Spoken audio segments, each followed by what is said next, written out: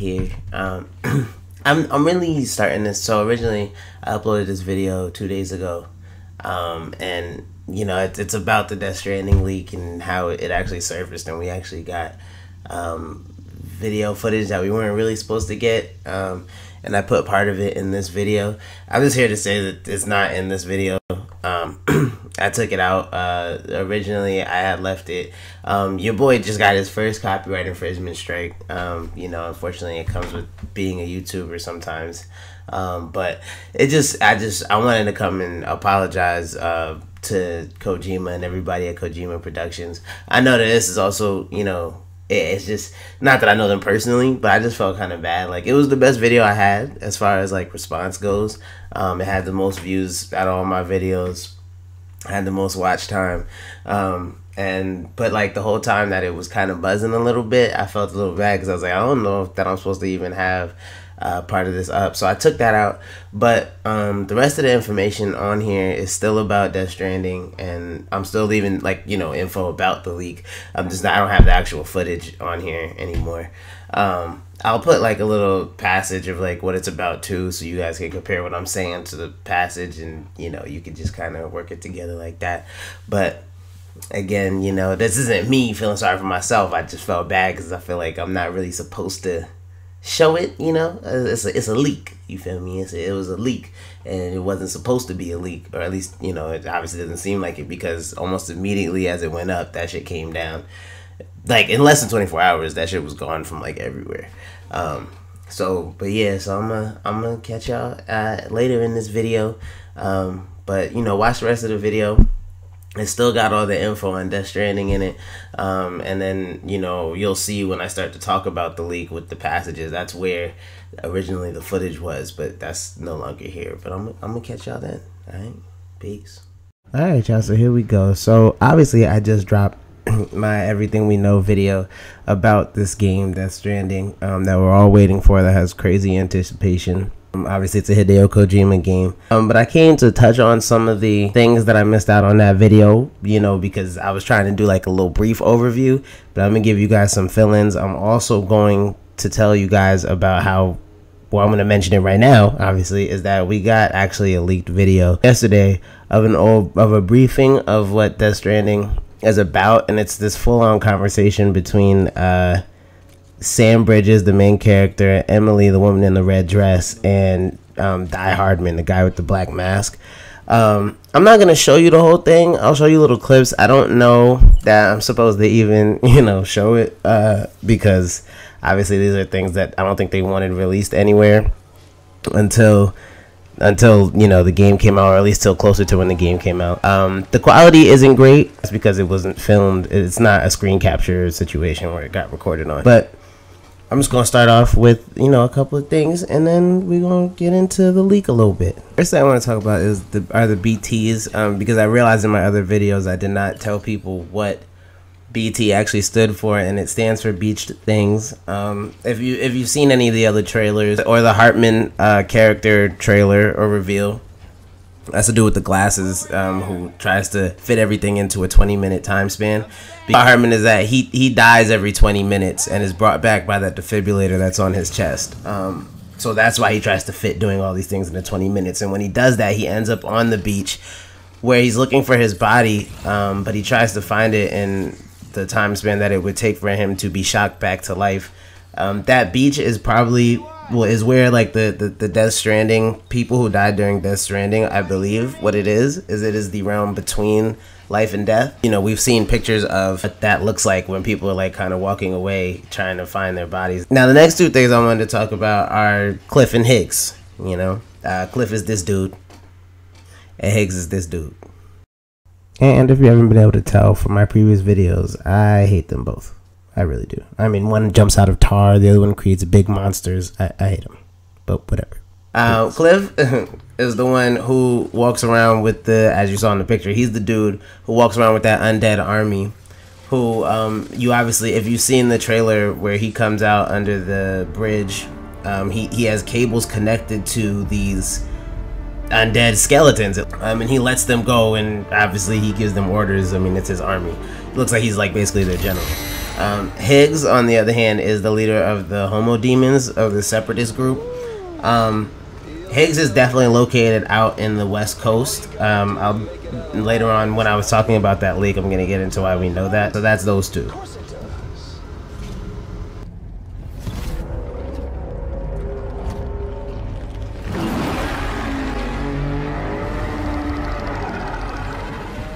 The next thing that I wanted to get into is the as us understanding about how Sam actually has abilities. Now, in my last video, I said we're not sure exactly why he was chosen by Bridget, who is who was the president. Um, she does die. Uh, if you guys did not know that, but that's that's something else. She does die.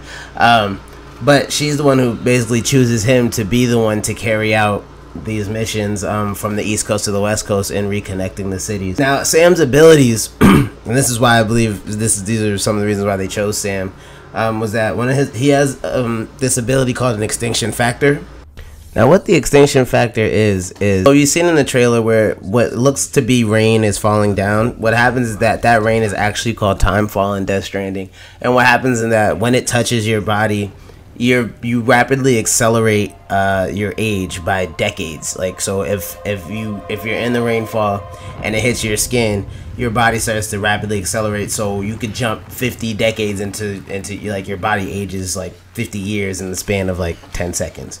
You know that's so that's what that is. So, but Sam isn't affected by it, or is at least not as affected by it as other people. Is what my assumption would be. Another ability that he has is called Doom, and what Doom is is it is the ability to sense the BTs because, as you guys know, as you've probably seen before and you've seen in other videos, BTs are not supposed to be able to be seen by the naked eye of humans.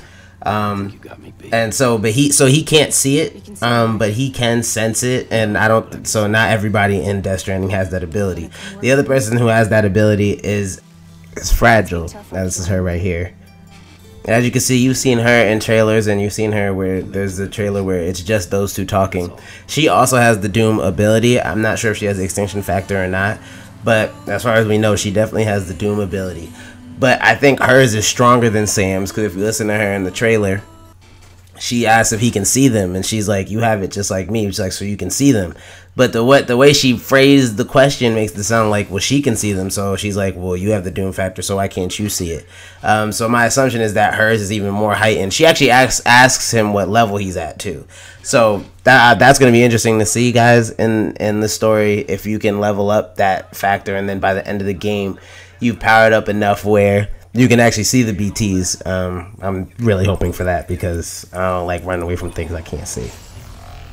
And just to give a little bit more of the background of what the Death Stranding is, besides the fact that it's an event, what the event was more specifically is it was a series of unnatural explosions called void outs, um, and we believe they were caused by the BTs, or I believe Hideo Kojima actually said that they were caused by the BTs um, in one of the passages that he had released previously. So that gives us more info on what it is and where the BTs actually come from. As we were saying before, we think they come from the undead realm and they've come to hunt humans for whatever reason we don't know yet.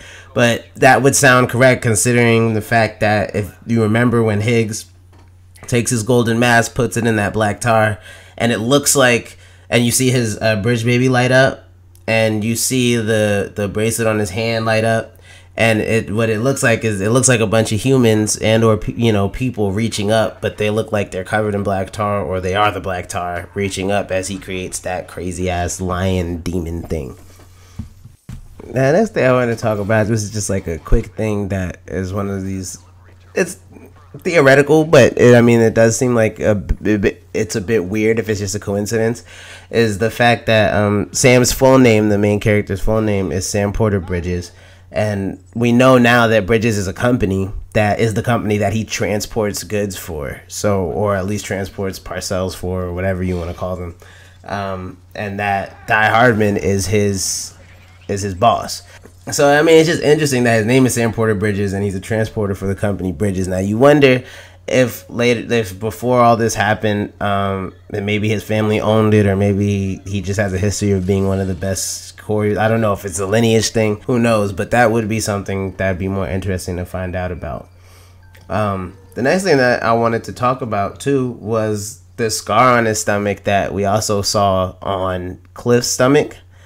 and that we also saw on this baby doll's stomach that is floating down the river in one of the trailers uh, that Deadman is in, the one where he's actually holding the bridge baby, and it looks like he's about to go under that bridge.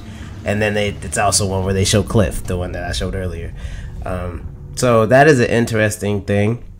And just real quick, I just want everybody to realize I just now noticed that all the names of these people are just descriptors of what they are. Mama's name is Mama because she's that BT's mama. Uh, Deadman is that's his name, so I assume he's dead. Uh, Heartman, his name is Heartman because obviously he has that problem with his heart where he dies every 20 second, 20 minutes and then has to come back. And Die Hardman, I'm curious about. I don't know why, but he has a mask on the whole time, and you know he has scars under his chin, which I'm probably gonna show you guys later in that little leak. I just wanted to bring bring uh, light to that. Okay, uh, next thing. Now, for the last few things that I want to say before I show you a little bit of this leak, and I um, talk about it a little bit more after it. Um, just some of the questions that we had answered, and some that we still have left, but it gave us a lot um, is that so first we know that Emily, the one who I told you earlier, the woman who was in the red dress, is actually Bridget's daughter. Bridget was the president. Um, and we know that like the event when from when Sam starts to do this transporting is 10 years after I believe the Death Stranding event happened in the first place. Um, and you'll see some of that why in the leak. Um, as well as the fact that he hadn't seen Emily in this time period in 10 years. He hadn't seen them after Bridget had died. And then then he must have separated himself from talking to Emily or Die Hardman or any of these people. He probably isolated himself. Um, well, he did isolate himself. They say that in the leak too. Um, and he just left for 10 years. And in that 10 years, three years after that, so seven years after uh, whereas which is where the leak takes place um, when he actually starts. In that, in the first three years, Emily, being Bridget's daughter again, was going around trying to reconnect everybody um, already from east to west. Um, and so the West Coast city that she, so basically she did that. She was gaining community, and people were agreeing that they wanted to be reconnected, and they were all traveling across the country until they got to the West Coast. So they finally got to the West Coast to a city called Edge Knot City. So we do have the name of one of the cities, and which is where freaking Higgs is located. That's why earlier when I said, well, we know he's on the West Coast, that's why we know he's on the West Coast. Edge Knot City is probably like LA or whatever, like that kind of situation where it's all the way on the West Coast. Um, and him being the leader of the Homo Demens Separatist group, it's not even apparently it seems that it's not it's not about like necessarily just I mean they do walk around killing people they're a terrorist group they leave those the craters that you see in the trailers um, but it seems like they want to live in isolation and they're in this group where there's a lot of people over there the community over there they're the one community that after all the communities that traveled with Emily who were getting themselves back together they denied it they did not want to be uh, united with everyone else um, and so you know you get a you get a crazy ass villain. Um, so ideally, it seems as though Higgs and other people that are in his community are really just in favor of somewhat of an anarchy. That's what it looks like to me. Um, that really makes it interesting to me because I wonder if maybe this is a maybe it was a class thing.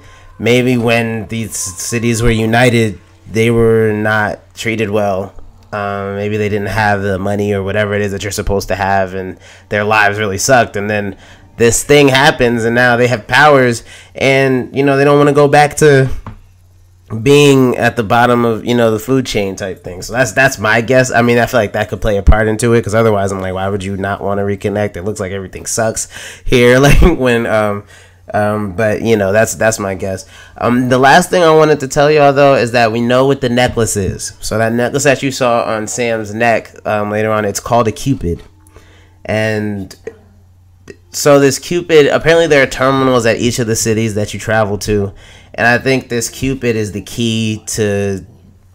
I mean, you know, there's some kind of technology involved in this connecting because I think they're talking about literally physically connecting these cities. Um, I don't think it's just about emotional or being like, oh yeah, let's all be under the United Cities of America again. I think it's literally like there's also there's that, but then there's also a physical connection. And I think that that necklace, that Cupid, is that what helps you is the key to actually connecting the cities. Um, so we'll see that, but I'm gonna let y'all watch a piece of this, and then we gonna we gonna talk about it. You feel me? So I'm gonna catch y'all. Hold up. All right, y'all. So this is originally where the footage was. Again, I had to take it out, you know, but so I'm just gonna read this for y'all. Um, so the video shows main character Sam taking a meeting in the Oval Office. He's briefly briefed by Deadman, that's the guy with the skull mask, before Sam's old friend Emily enters the room in a flash of light. Deadman and Emily explain that she had led a convoy across these great United States. They don't use that exact terminology to reconnect formerly splintered communication was going well until they got to their final stop, Edge Knot City on the west coast. Its separatist inhabitants rejected their message and even took Emily hostage to ensure nobody else from her organization would try to finish her mission. Turns out Emily's only here as a hologram. Deadman and Emily want want Sam to finish what she started, head west, reconnect the terminals, her convoy set up and eventually make his way to Edge Knot City and free Emily. Like any self-respecting conflicted protagonist, Sam refuses and storms out of the room because of some bad history with this organization. So I'm here to confirm that. Obviously, um, we've seen it, um, and that that is exactly what happened. Um, I I kind of was thinking about showing y'all pictures, but I was like, nah, that's that's still bad. So, um, but yeah, that's that's essentially what happened with uh, with that. But yeah, y'all. So as you can see, besides the fact that we already knew that this game was gonna be crazy, um, you know that gave us that gave us a much better uh, footing for knowing what we are actually going to be doing and why. Um, and you know it was it was tough. Like I, when I saw that leak, I was like, damn. I was like, okay, now we're we really getting somewhere. But I only have a couple questions. One is about him saying he's not a strand anymore. He's Sam Porter Bridges. I don't know what that means. Um, and I still have questions about the terminals that they set up that the Cupid is going to help them reconnect. Although, like I said, I'm pretty sure it's a physical thing. But, you know, we'll see. But yeah, y'all. So, you know, I appreciate y'all watching this. You feel me? I hope y'all enjoyed this. Uh, if you like it, give it a thumbs up. If you don't, you can give it a thumbs down. You feel me? But, you know, comment regardless, you know. And um, I'm going to catch y'all in the next video. Peace.